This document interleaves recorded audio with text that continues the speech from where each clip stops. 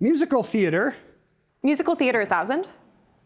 Set pieces in this Broadway musical include a life sized helicopter and a giant head of Ho Chi Minh. Mattea. What's Miss Saigon? That's right. Uh, musical theater 8. The answer there is the Daily Double in the round.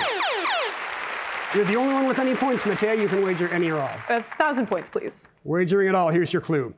The role of Glinda in Wicked was written for this actress, who received a 2004 Tony nomination for her performance. Who is Kristin Chenoweth? That's correct. You have 2,000 points.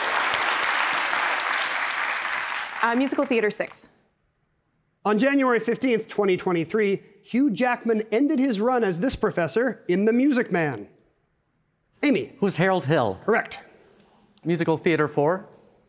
This 1966 musical was first called Welcome to Berlin. The title seemed like a turnoff and was changed.